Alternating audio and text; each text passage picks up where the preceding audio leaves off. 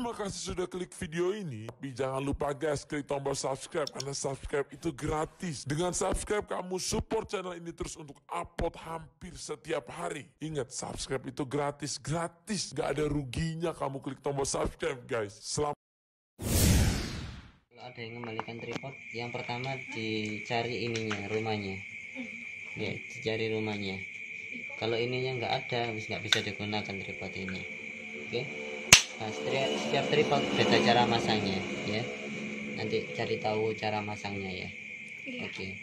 Terus eh, diusahakan kadang itu belum dilodoi sudah diputar maka cuklek. Ya biasanya yang murah-murah itu tripod itu patah nah harus dilodoi dulu nah, itu dicek ininya ada yang patah atau enggak. Kalau yang biasa itu yang sedang itulah nah itu rawan patah. Di sininya dilihat ada yang patah atau enggak. Ya waktu pengecekan. Kemudian dilihat juga nah, setiap tripod pasti ada gininya. Nah ini nek dipekso maka akan patah. Harus dilodoi dulu di sini ada putarannya ya oh, baru bisa. Kalau kekunci dipekso patah ya jelas ya. Nah kayak gini ya.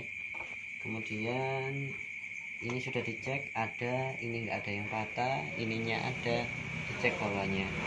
Nah kadang itu ada yang ocol sini. Nah itu nggak bisa dipakai lagi gitu ya. Kemudian ada yang ininya patah. Nah diceknya yang betul-betul ya. Cek ini gininya samping-sampingnya ya. Nah bautnya kadang ada yang hilang ya nggak bisa dipakai. Itu di belakang banyak. Oke kemudian di sini lagi ditutup lagi. Dicek ininya. Ya. Kadang ada yang patah.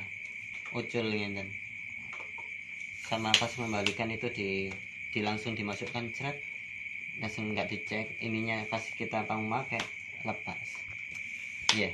Iya. oke jelas ya ini ya harus dicek satu terus ini dua kadang ada yang patah terus tiga ya empat lima enam oke? Oke setiap tripod sama semua gitu ngeceknya. Hmm. ya oke. cara masangnya gini